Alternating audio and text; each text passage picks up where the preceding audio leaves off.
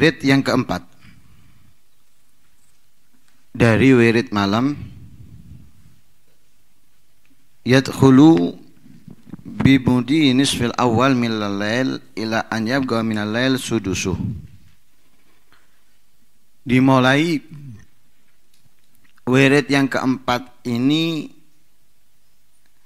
dengan berlalunya setengah malam pertama ila an yabqa sampai tersisa seperenamnya jadi dimulai dari sep, separuh pertama atau berlalunya separuh awal dari malam sampai ke atau sisa seperenamnya. Wa inda dzalika yaqumul abdu litahajjud. Di saat itu seorang hamba bangun untuk melaksanakan tahajud.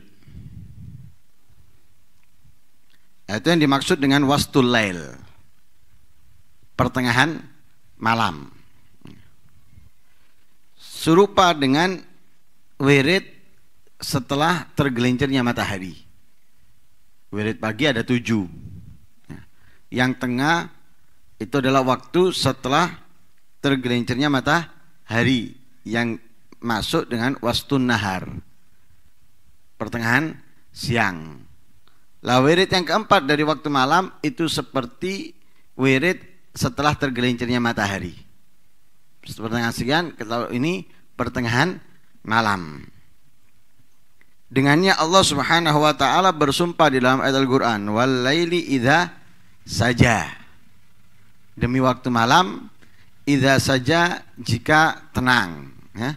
Jika sudah tenang, eh hudu'u fi hadal waqt, ketenangan atau kesunyian dalam waktu ini. Karena saat itu sudah banyak orang yang tertidur. Hampir tidak ada yang bangun eh, sehingga sesuai apa yang disabdakan oleh Rasul Shallallahu Alaihi Wasallam apa id, apa uh, dalam hadisnya itu di antaranya uh, wasalla billail wanas niam salat di waktu malam ketika orang sedang tidur atau asik tidur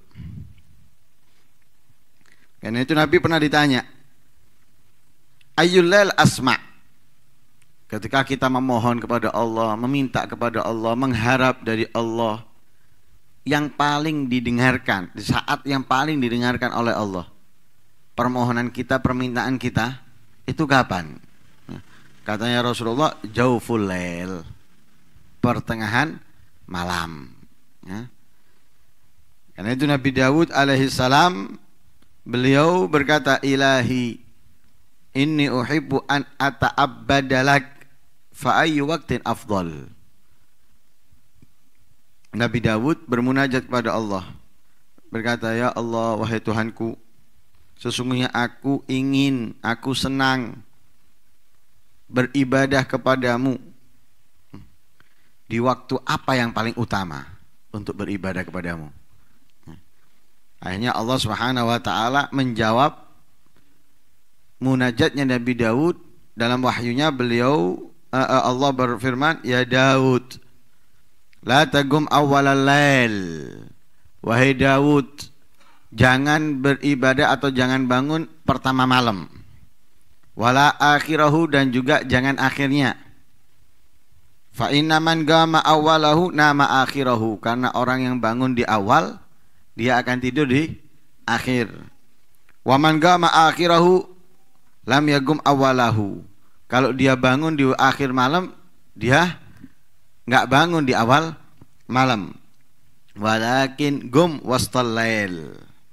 Akan tapi bangunlah di pertengahan malam hatta takhluwabi sehingga engkau berduaan, berkhalwah denganku wa akhlubik dan aku berkhalwah denganmu. Jadi berduaan ya. Warfa ilayya hawaijak sodorkan, sampaikan kepadaku kebutuhan-kebutuhanmu. Jadi bukan pertama malam, bukan akhir malam, tapi pertengahan malam. Nah, di situ waktu yang paling didengar doa seorang hamba dan juga yang dikatakan oleh Allah kepada Nabi Dawud alaihis salam. Nah. Bahkan Nabi pun di dalam bertanya, apa ditanya di waktu yang lain, Nabi berkata ayul lail afdal. Fagala nisful lail al-ghabir yakni al-baqi. Nabi ditanya malam bagian malam yang mana yang paling utama? Katanya Rasulullah nisful lail al-ghabir. Separuh malam yang eh, sisa, ya. Separuh malam yang sisa. Lah di akhir malam inilah datang riwayat dengan ihtizazul arsh, goyangnya atau gen, apa? goncangnya arsh. Kemudian eh, angin yang menghembus dari surga Aden turunnya pemberian-pemberian Allah ke langit dunia dan selain itu semuanya. Lah bagaimana caranya menjalankan? Wirid yang keempat ini jadi setelah kita menyelesaikan doa bangun tidur Nah, setelah menyelesaikan doa bangun tidur, ya berarti bukan hanya alhamdulillah ahyana ba'da ma amatana wa nusyur, tapi doa bangun tidur yang lainnya yang disebutkan oleh Imam Al-Ghazali dalam kitabnya Bidayatul Hidayah atau Ihya yatawadda wudu'an ya berwudu dengan wudu yang sempurna sunnahnya adabnya dan doa-doanya. Kemudian ke tempat sholatnya menghadap kiblat, sholat. Setelah sholat, dia bertasbih 10 kali. Bertahmid 10 kali, bertahlil 10 kali. Setelah itu membaca Allahu Akbar, Dhul Malakuti wal Jabarut, wal Kibriyai wal Azamah wal Jalali wal Kudrah. Ya. Kemudian membaca doa atau yang maksur dari Rasul Wasallam dibaca oleh Rasulullah ketika tahajud, artinya bangun malam. Allahumma lakal hamdu anta nurus samawati wal ard. Walakal hamdu anta baha'us samawati wal ard. Walakal hamdu anta rabbus samawati wal ard. Walakal hamdu anta qayyumus samawati wal ardi wa man fihin. Wa man alaihin antal haq wa minkal haq wa liga'uka haq wal jannatu haq wal naru haq wan nusyuru hak wan nabiyuna hak wa Muhammad sallallahu alaihi wasallam hak Allahumma laka aslamtu wa bika amantu wa alaika tawakkaltu wa ilaika anabtu wa bika khasamtu wa ilaika hakamtu faghfir li ma qaddamtu wa ma akhartu wa ma asartu wa ma anta wa ma a'lantu wa ma asratu wa antal muqaddim wa antal muakhir la ilaha illa anta. Allahumma ant, ati nafsi taqwaha وزكها أنت خير من زكاها أنت وليها ومولاها. اللهم اهدني لأحسن الأعمال ولا يهدي لأحسنها. أنت؟ واصرف عني سيئها لا يصرف عني سيئها إلا أنت. أسألك مسألة البائس المسكين وأدعوك دعاء المفتقر الذليل. فلا تجعلني بدعائك ربي شكيا وكن بي رؤوفا رحيما. Ya khairal mas'ulin wa akramal mu'tin. Begitu juga yang diriwayatkan oleh Sayyidina Aisyah, Rasulullah ketika bangun malam membuka salatnya atau membuka doanya dengan Allahumma rabba Jibril, rabba Jibril wa Mikail wa Israfil, fatiras samawati wal ard, alimal ghaibi wa syahada anta tahkum baina ibadika fima kanu fihi yakhtalifun, ihdini lima ikhtulifa fihi minal haq biidnik innaka tahdi man tasha'u ila siratim mustaqim. Lalu Nabi menjalankan sholat dua rakaat yang ringan. Dua rakaat yang enggak panjang, pendek. Dan dilakukan setiap dua rakaat. Jadi dua rakaat, dua rakaat. Ya, seperti mana yang kita jelaskan semalam, Nabi kalau malam menganjurkan sholat sunnahnya itu dua rakaat, dua rakaat. Sebagaimana sholat tasbih dianjurkan kalau malam afdolnya dua rakaat, dua rakaat.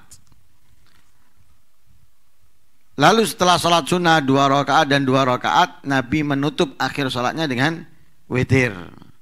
Nah, kalau memang kalau belum sholat witir. Nah, disunahkan sholat witirnya itu tiga rakaat, dua rakaat salam dan satu rakaat.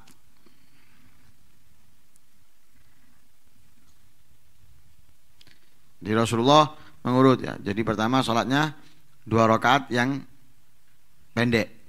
Setelah itu baru roka, dua rakaat lagi yang panjang. Ya. Kemudian sholat lagi dua rakaat di pertengahan, pendek dan pertengahan panjang. Jadi kalau pertama pendek. Kemudian dua rakaat berikutnya panjang. Ya.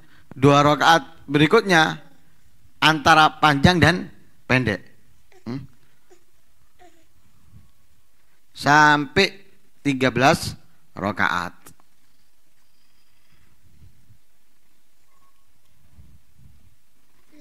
Itu wirid yang keempat. Ya mudah-mudahan kita bisa menjalankan apa yang diajarkan oleh Rasul Shallallahu Alaihi Wasallam yang diaturkan oleh para ulama.